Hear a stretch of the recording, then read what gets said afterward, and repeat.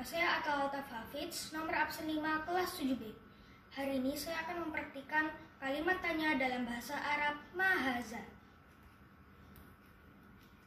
Mahaza. Haza kursiyun Mahaza. Haza kitabun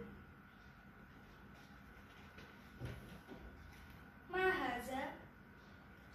Haza